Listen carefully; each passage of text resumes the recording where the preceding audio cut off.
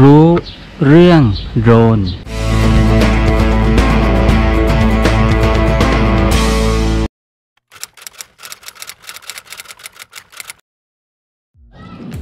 สำหรับใครที่เล่นโดรนนะครับควรรู้ไว้นะครับสำหรับวิธีการดูแลแบตเตอรี่โดรนง่าย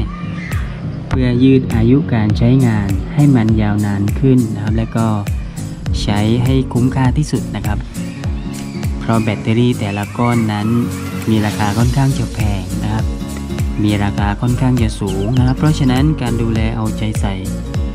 เก็บรักษาแบตเตอรี่นะครับ จะช่วยให้แบตเตอรี่สามารถทำงานได้อย่างเต็มประสิทธิภาพ ปลอดภัย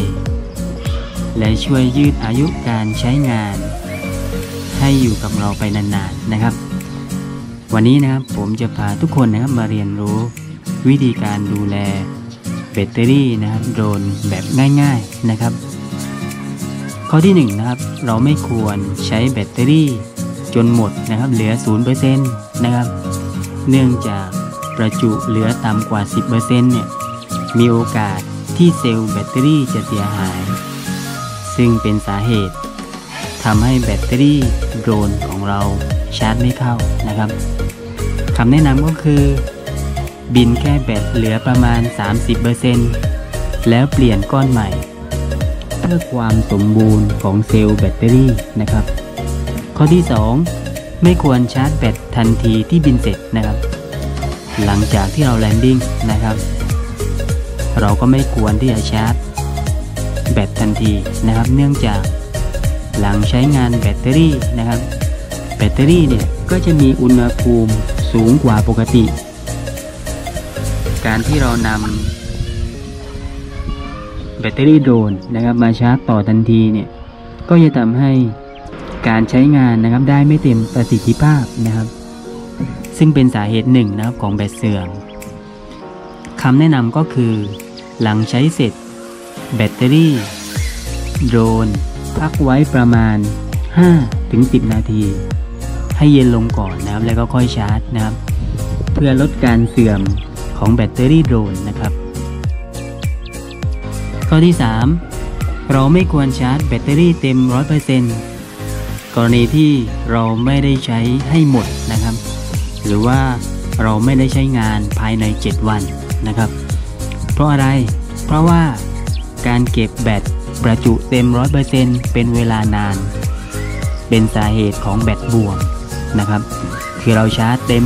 100%และก็เราไม่ได้ใช้ภายใน 7 วัน ก็เป็นสาเหตุของแบตบวม และก็เราไม่สามารถที่จะเคลมได้ด้วยนะครับ เนื่องจากว่าเป็นการเก็บแบตเตอรี่โดรนผิดวิธีนะครับ ซึ่งคำแนะนำก็คือ ควรเหลือประจุไว้ประมาณ 30-50%ถอดแบตเตอรี่ออกจากตัวลำ และก็เก็บในห้องอุณหภูมิปกตินะครับ ไม่ร้อนไม่ชื้นนะครับ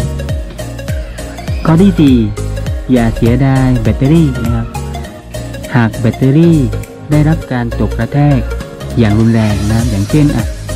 โดรนอาจจะตกใช่ไหมครับ แบตเตอรี่ตกจากที่สูงนะครับ